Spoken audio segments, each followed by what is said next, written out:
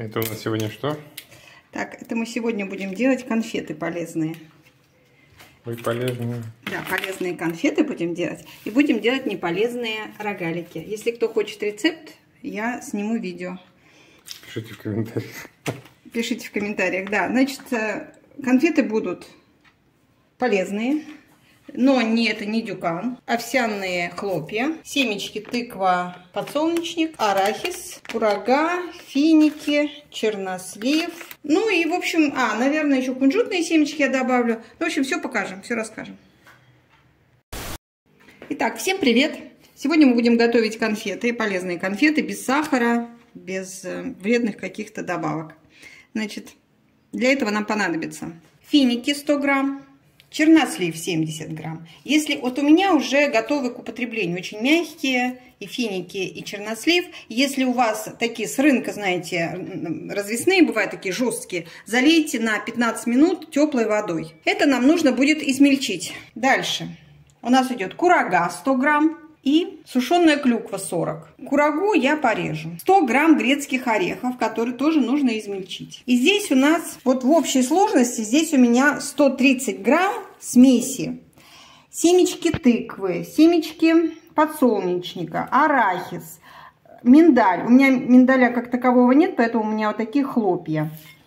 Можете положить сюда кедровые орешки, кешью. В общем, примерно 130 грамм вот такой орехово, ореховой семечной смеси. Кстати, очень похоже, мы делали на днях рецепт с сельдереем. Посмотрите, очень вкусно. Ну, на самом деле, очень вкусный рецепт. И овсяные хлопья 40 грамм. Это у нас кунжут белый. У меня здесь э, в этих семечках кунжут черный.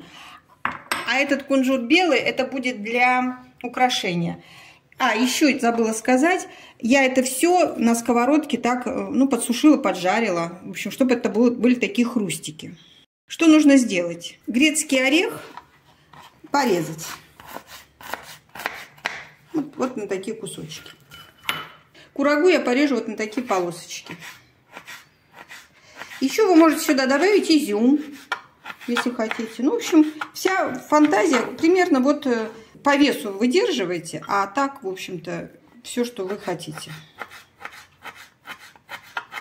Это нужно измельчить любым способом, какой у вас есть. В блендере,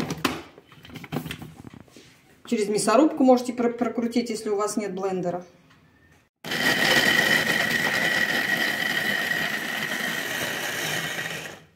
Итак, теперь нам все нужно соединить в одну массу овсянка, орехи с семечками, грецкие орехи,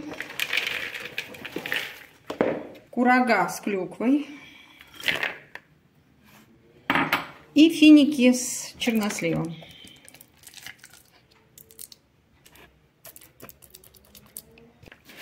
Всю смесь руками прямо так соединить в одну массу.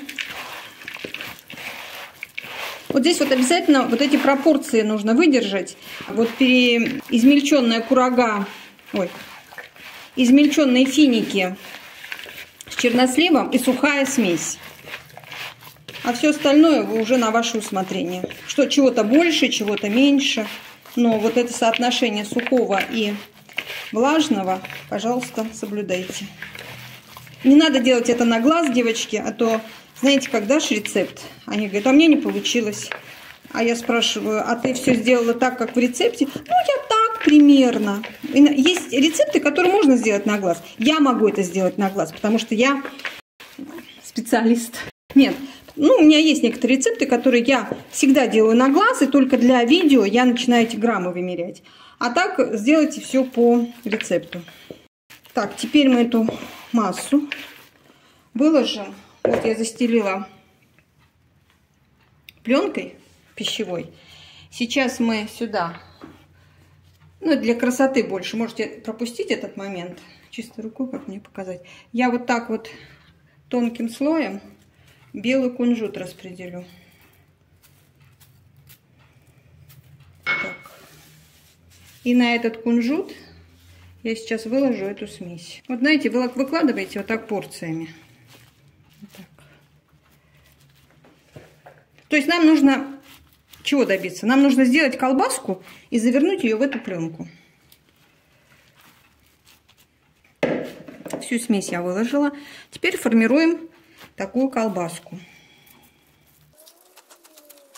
Все, что отваливается, возвращаем на родину. Так.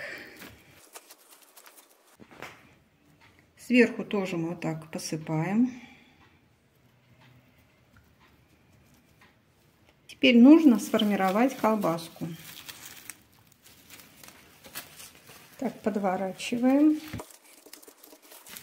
Подворачиваем. И формируем еще так плотнее. Вот так у меня получилось. Вот просто вот, вот соедините, чтобы вот, вот так вот они, она была такая плотненькая. Чтобы когда вы будете нарезать, у вас получились такие ровные кусочки. Теперь вот так вот начинаете закручивать колбаску, пленку, чтобы вот она была плотно, плотно, плотно. Вот так, здесь нужно будет завязать. Сейчас я возьму зажимчики. Вот так вот я закрутила. И вот такими зажимчиками я края зафиксирую. С двух сторон. Можете просто веревочку, можете сам этот пакет завязать. И убираем примерно на 3 часа в морозильную камеру. Вот такая у нас получилась конфета. Она заморозилась. Мы, честно говоря, прошло два дня. Мы ее, в общем-то, уже пробовали. Она вкусная. Мы просто хотим э, теперь снять как бы для вас, показать, что из этого получается. Вот здесь мы уже ее пробовали. Пилили. Да. Вот так. Значит, э, разматывать я не буду. Я вот отпилю, покажу вам, как она в разрезе. Ну, два кусочка к чаю, пожалуйста. Пожалуйста. Раз. Это очень-очень вкусно. У нас соседка сказала, что это солями. Знаете, такая есть. Да. Вот посмотрите. Вот такая вкуснота, красота. То есть это и на стол поставить, и просто угостить своих гостей. Не обязательно нужно быть на там, диете или каком. Ну, на правильном питании надо быть всегда. Я всем рекомендую приготовить эти конфеты. Я их называю конфетами. Это сладость, это десерт. Приготовьте обязательно. Всем приятного аппетита, приятного чаепития. Худейте с удовольствием. Всем пока!